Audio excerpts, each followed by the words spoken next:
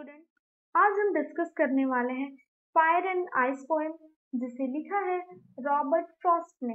ये एक symbolic poem है।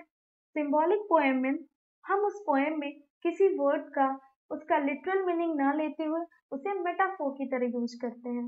इस पोएम में पोएट ने फायर का रियल मीनिंग नहीं लेते हुए इसे मेटाफोर की तरह यूज़ किया है, जहाँ फायर सिंबलाइज करता है डिज़ायर को। एंड सेम उसी तरीके से पोएट ने आइस का भी रियल मीनिंग नहीं लेते हुए उसे मेटाफोर की तरह यूज़ किया है और यहाँ आइस सिंबलाइज करता है हेट को। सो so, इस पोएम में पोएट ने बताया है कि इस दुनिया का अंत दो तरीके से हो सकता है या तो एक्स्ट्रा डिज़ायर से और नहीं तो हेट से। तो अब हम इस पोएम को डिटेल में समझेंगे और साथ साथ इसमें यूज़ हुए पोएटिक डिवाइस को भी डिस्कस करेंगे। So now let's discuss the explanation. Some say the world will end in fire, some say in ice. यहाँ पोएट लोगों के ओपिनियन को बता रहे हैं कि कुछ लोगों का कहना है कि दुनिया का अंत जो है वो फायर से होगा और कुछ लोगों का कहना है कि दुनिया का अंत आइस से होगा तो जैसा कि हमने पहले ही डिस्कस कर लिया कि जो फायर है वो डिज़ायर को सिंबलाइज करता है एंड जो आइस है वो हेट को सो so, यहाँ पोएट बता रहे हैं कि कुछ लोगों में कुछ चीज़ों को पाने की चाहत इतनी ज़्यादा होती है कि वो उसके लिए कुछ भी कर सकते हैं।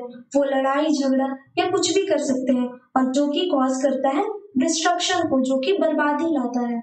उसी तरीके से कुछ लोग जो है वो आपस में हेट करते रहते हैं और वो भी बर्बादी लाता है। तो यहाँ पोएट ने बताया कि दुनिया के एंड होने के दो रीजन हो सकते हैं, या फिर डिज़ायर एक्स्ट्रा डिज़ायर किसी चीज़ को लेके बहुत ज़्यादा चाहत रखना, या फिर नफरत। For what I have tasted of desire I hold with those who favour fire पहले पोएट ने लोगों के ओपिनियन को बताया, और यहाँ वो अपने बारे में बता रहे हैं। वो कहते हैं कि जितना उन्होंने डिज़ायर के बारे में जाना है, वो उन लोगों को फेवर करते हैं, जो कहते हैं कि वर्ल्ड फायर से खत्म होगा। If it had to perish twice, I think I know enough of it to say that for destruction eyes is also great and would suffice. Perish means end. किसी चीज़ का खत्म होना एंड सफाइस मीन्स इनफ किसी चीज़ का काफ़ी होना फिर poet बताते हैं कि अगर दुनिया दो बार खत्म होगी तो उन्हें नफरत के बारे में भी बहुत कुछ पता है और वो मानते हैं कि दुनिया को खत्म करने के लिए नफरत भी काफ़ी है।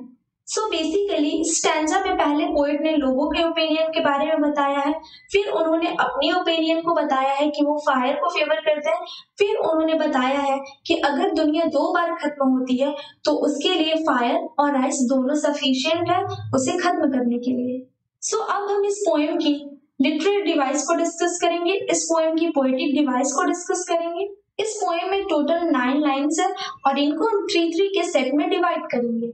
So fire desire fire these three words are rhyming will call them A next ice twice ice and suffice these four words are rhyming will call them B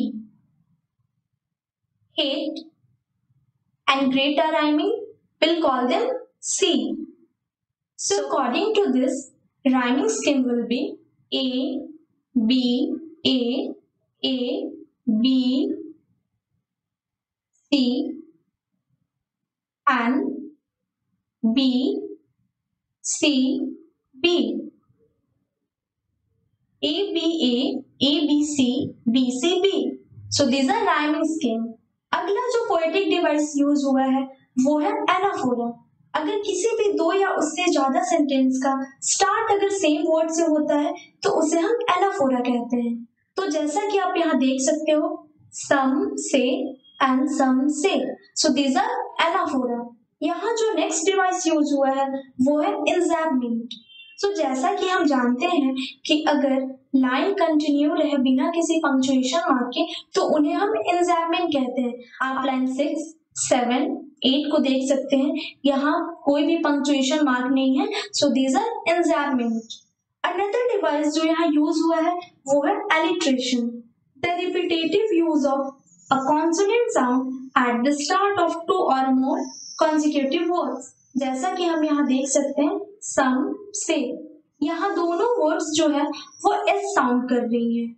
next device जो यहाँ यूज़ हुआ है, वो है assonance repetitive use of a vowel sound is known as assonance ये word में कहीं भी आ सकते हैं, कहीं वर्ड के स्टार्टिंग में, कहीं वर्ड के मिडिल में और कहीं एंड में। So in first line will में आई इन में आई एंड फायर में आई यहाँ आई साउंड जो है, वो प्रोमिनेंट है। सो so, इसके अकॉर्डिंग एजोनेंस हुआ I again in line four I with में आई पायर में आई एंड होल्ड में ओ दोज में ओ हो में ओ एंड फेवर में ओ तो यहाँ आई एंड ओ दोनों साउंड प्रोमिनेंट है तो इसके अकॉर्डिंग यहाँ एजोनेंस होगा I and O again in line six I think में आई आई देन नो में ओ इनफ में ओ एंड ऑफ़ में ओ तो इस लाइन में भी आई एंड ओ दोनों साउंड जो है प्रोमिनेंट है तो यहाँ भी एजोनेंस जो होगा वो होगा I and O so students यहाँ हमने इस पोएम के लिटरेरी डिवाइस को भी डिस्कस कर लिया पोएट ने अपने साथ साथ कुछ लोगों के ओपिनियन को भी शेयर करा है और उन्होंने बताया है how the world will end So here we have completed this poem. I am hoping that you will understand it. So till then, keep learning and keep studying. Thank you.